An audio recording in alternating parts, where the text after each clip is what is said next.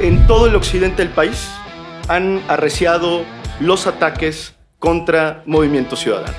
El PRI y el PAN no representan oposición, representan al contrario una vuelta al pasado y por eso Movimiento Ciudadano no ha dejado de crecer. La culpa del fracaso pues está en su propia historia, en sus malos gobiernos. Eso lo tiene claro hoy el presidente de la República, su gobierno y su partido ha arreciado los ataques contra las candidatas y candidatos de Movimiento Ciudadano. En Jalisco, Pablo Lemus recibió acusaciones de parte del SAT, supuestamente por adeudar el pago de impuestos. En Colima, Morena censuró los spots y espectaculares por recordarle a la candidata de Morena su pasado en el PRI.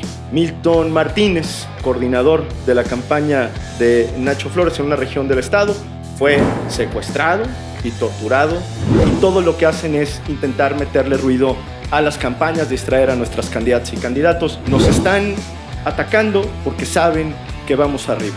Ni Morena, ni sus aliados, ni el PRIAN estaban preparados para que surgiera una tercera opción, como hoy lo es Movimiento Ciudadano, porque entendimos la realidad del país. Las y los mexicanos tienen una tercera opción, la mejor opción de todas, que es Movimiento Ciudadano.